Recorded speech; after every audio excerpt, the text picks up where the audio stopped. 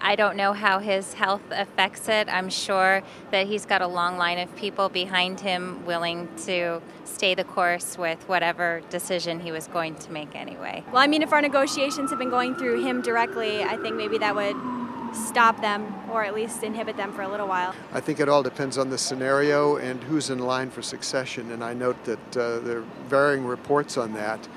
Uh, so I think we're just going to have to wait and see.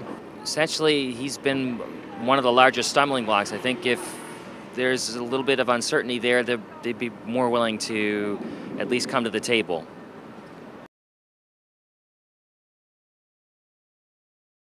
Pakistan. It's a little bit unstable. They have a lot of nuclear arms. We know they do. I would have to say probably a tie between Pakistan and Iran. As far as the United States is concerned, and this administration is concerned, and the next administration is concerned, Iran is likely to be presented as the biggest threat on the nuclear front for reasons which are sort of historic. At this time, Pakistan, knowing the, um, their temperament or how they feel they've been treated by the West in terms of their own nuclear uh, uh, program. So right now, I would say Pakistan.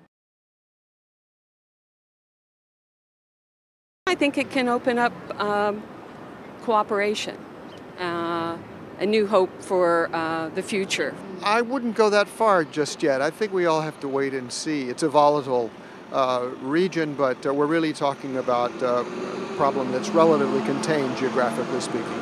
I think lately the United States is involved in every region, so probably.